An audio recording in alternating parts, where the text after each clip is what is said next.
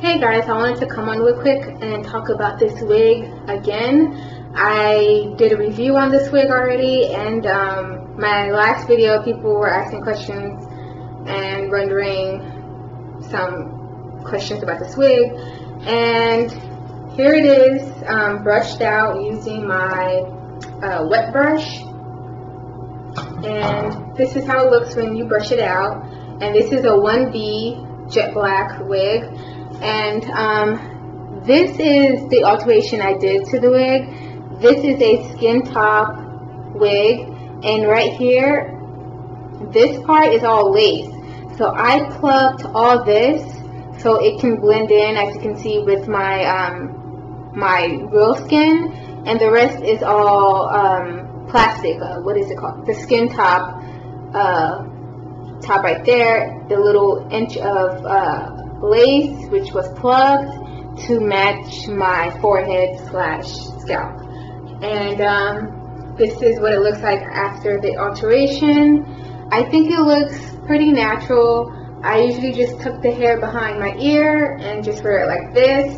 This is 1B I really like this wig so I want to show you this wig in a different color. And here it is. Um, the same wig but without the alterations and still with the lace on and in a different color. The color is SOH627613, the same wig, Missy.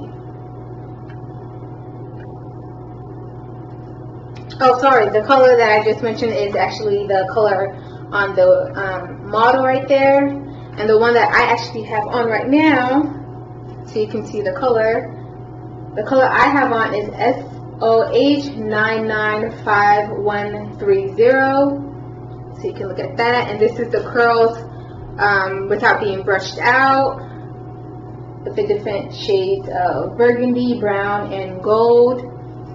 Let me show you a back view.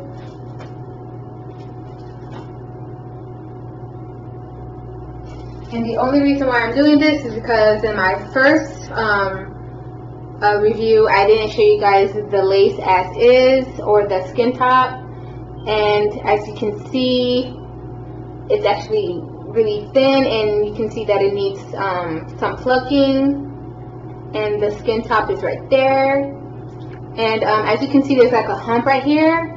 So when you wear this wig, you have to um, make sure your hair is braided in cornrows. Usually my hair is in uh, CD braids. So, um, and I just put a wig cap and the wigs usually fit. But this, it gives you a lump if you don't have your hair braided in cornrows. So this is what the hair looks like. Without being brushed out and um, with no alterations. Straight out the pack. And yeah, that's all I wanted to show you guys. Let me show you some more color detail just in case you all want to get involved in the Black Friday hoopla that um, some of the companies will be having and some more color.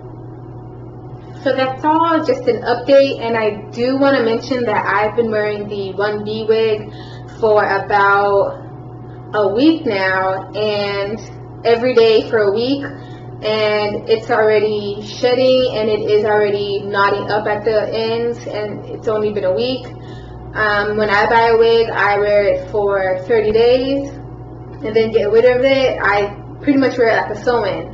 And then if after those 30 days it still looks good, then I will continue to wear it or I would just buy another one. But this wig doesn't seem like it's going to last 30 days because it's already knotting up. At least the black one is. But this one, I really like it. And as you can see, it is puffy up here. And um, thanks for watching and bye.